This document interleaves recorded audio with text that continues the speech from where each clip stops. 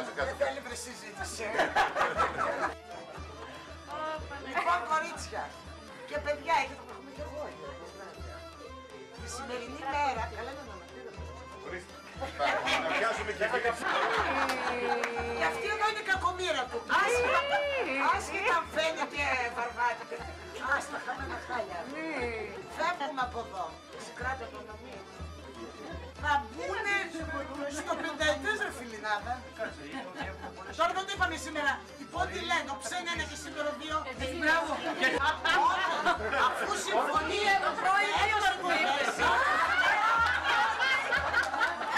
Αφού συμφωνεί Αυτό θα γινόταν, αυτό θα γινόταν αν δεν έβλεπε εσύ. πολιτισμένα πράγματα. Από τη στιγμή που έδωσε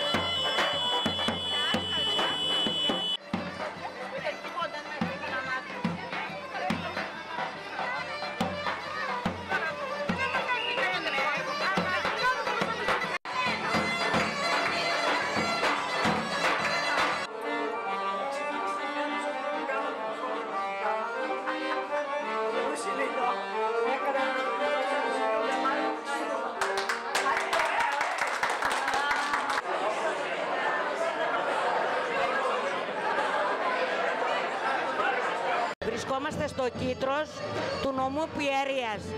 Σήμερα αναβιώνεται το έθιμο της Μπάμπος, το οποίο ήρθε από την Ανατολική Ρωμιλία και δει την Πάνα. Ε, η μέρα αυτή γιορτάζεται, είναι η γιορτή της Αγίας Δομνίκης και γιορτάζει η μαμή του χωριού. Οι γυναίκες δίνονται παραδοσιακά και ξεκινάν όλες μαζί και πηγαίνουν στο σπίτι της Μέας. Εκεί τους περιμένει η μαμή η οποία κάνει έναν εικονικό τοκετό κερνάει σε όλες τις γυναίκες το παραδοσιακό λάχανο με κα- κόκκινο κρασί και λίγο ψωμάκι και όλοι μαζί παίρνουν τη μαμή και πηγαίνουν στο Δημαρχείο όπου μία εκ των γυναικών έχει ψηφιστεί να είναι για 24 ώρες η δήμαρχος του χωριού. Ε, πήγαμε στο Δημαρχείο όπου μας περίμενε ο Δήμαρχος ο- και οι αντιδήμαρχοι του χωριού καθώς και ο πρόεδρος. Μας καλοδέχτηκαν και πολύ ευγενικά μας παραχώρησαν τη θέση τους. Μας κέρασαν και από εκεί φεύγοντας περάσαμε από όλα τα μαγαζιά που ήταν ανοιχτά στο Κίτρος ε, ώστε να δουν τις ντυμένες γυναίκες να χορεύουν.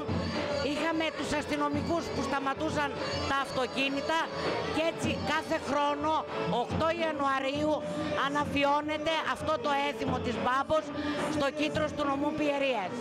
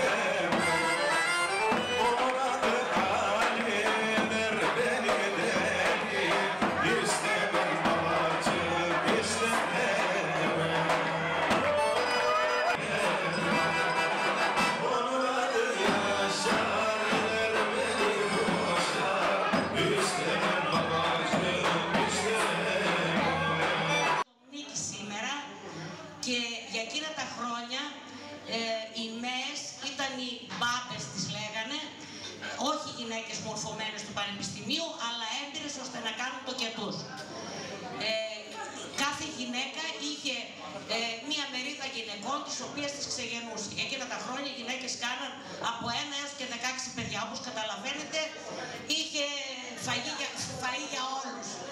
Πελατολόγιο μεγάλο. Την ημέρα αυτή λοιπόν της Αγίας Δομνίκης γιορταζόταν η γιορτή της Μέας. Η Μέα, η μαμή, η μπάμπος το λέμε για να καταλαβαίνόμαστε, καλούσε όλες τις κυρίες τις οποίες είχε ξεγεννήσει τις γυναίκες και τις έκανε τραπέζι. Το φαγητό που τους έρβηρε ήταν το λάχανο. Το λάχανο συμβόλιζε τον ημένα όπου είναι κλεισμένο το μωρό μέχρι την ώρα να- που θα γεννηθεί.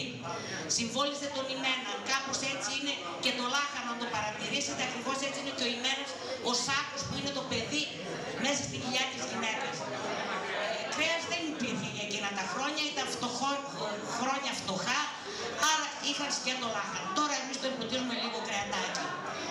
Ε, για εκείνα τα χρόνια που ζούσαν στη Βουλγαρία, ε, για το καθεστώς το εκεί απαγορευόταν να γίνεται αυτή η γιορτή, την απαγόρευσαν οι Βούλγαροι.